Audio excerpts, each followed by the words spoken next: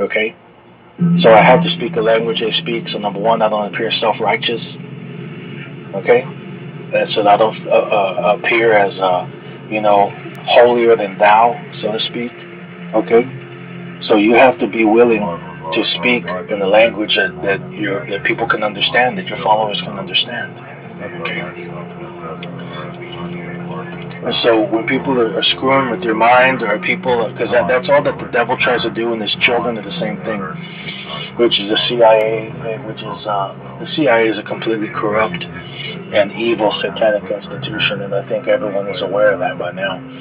They go to other nations and, and overthrow those nations, and and uh, kill the whoever's leading those nations, and and, and insert some puppet, some muppet, some guy that's going to take their bribes, take America's bribes, and, and, and exploit their own citizens, his or her own citizens for our benefit, which is, is so wrong and so grotesquely evil on so many levels and brings curses to the entire populace of America, which is why you're oh, seeing America becoming destroyed. You're seeing the economy of America be destroyed, the moral fiber of America be destroyed. Everybody's miserable. Everybody's in a bad mood. I'm not, but but I haven't. You know, I don't live by the standards of a typical American, where they live by standards that just have to do with Masonic materialism. They don't care about anything else. And then they wonder later why their son and daughter committed suicide, you know, before they turned 21. They wonder why they're popping pills all the time and why their wife or their husband's nothing but a drunk.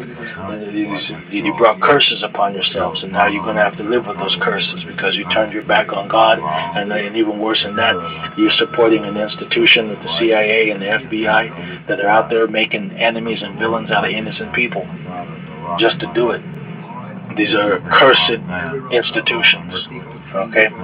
So these are death psalms so that you have FBI agents or special agents or duty officers pursuing you or CIA guys pursuing you. You say these prayers every single day. I say them on the hour, every hour, every day.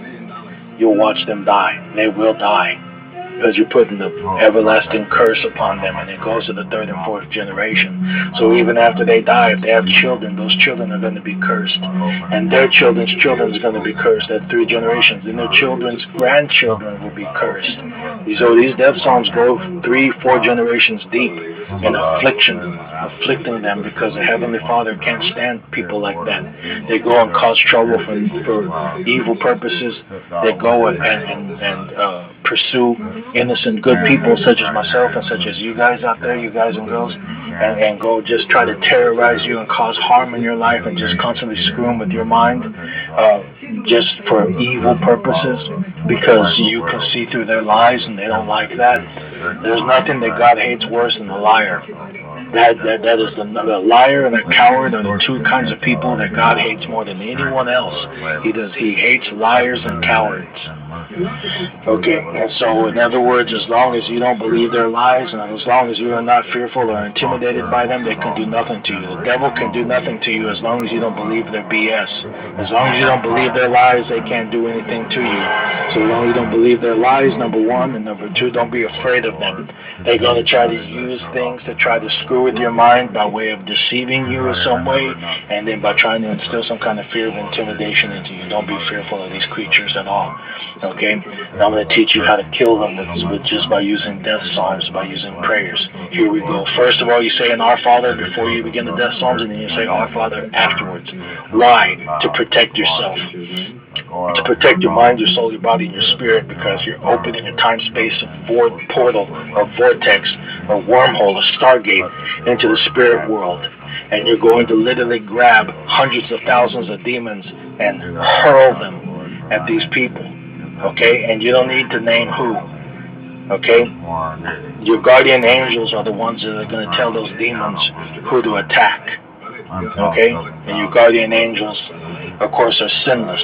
They're flawless. They came from the Heavenly Father. They're there to protect you. So your guardian angels will take the death psalm, send it to the Heavenly Father, who will command the Heavenly Father to command the guardian angels, to command the demons to go attack and kill those people that do not like you and are engaged in conspiracies against you. And you keep praying these things until there's no one left on the earth except us. Okay? Every day. Here we go. Our Father, and then you say an Our Father afterwards to close that space-time portal. So you keep yourself safe. Our Father Yahweh, who art in heaven, hallowed be thy name. Thy kingdom come and thy will be done on earth as it is in heaven. Give us this day our daily bread and forgive us our sins, as we too forgive those who have sinned against us. And lead us not into temptation, but deliver us from the evil one. For yours is the kingdom, the power, and the glory forever. Amen. Now here's the three death psalms. Here we go. All right, get ready. This is, stuff is pretty hardcore. This is not for the faint of heart, but you need to know these things. You need to have them memorized so you can say them. And you can use this as a spiritual tactic. You can't get arrested for it. You can't be oppressed. Nothing can happen to you because the, the, the people that try to prosecute in the court of law, they'll be thrown out of court and they'll be laughing at them and say that those people are delusional. You know, guys just praying and just saying a bunch of words. How'd that person die just from words? You see? So you use that against them. Here we go. In my distress, I cried unto Yahweh, Yahushua, Yahweh, heard me. Deliver my soul, O Yahweh, from lying lips and deceitful tongues. What shall be given unto thee? And what shall be done unto thee, thou false tongues? Sharp arrows of the mighty with coals of juniper. Woe is me that I shun the Mesech, that I dwell in the tents of Kedar. My soul alone dwelleth with those that hate peace. I am for peace, but when I speak, they are for war. O Yahweh, Yahushua, Yahweh, to whom vengeance belongeth. O Yahweh, Yahushua, Yahweh, to whom vengeance belongeth. Show thyself, lift up thyself, thou judge of the earth, and render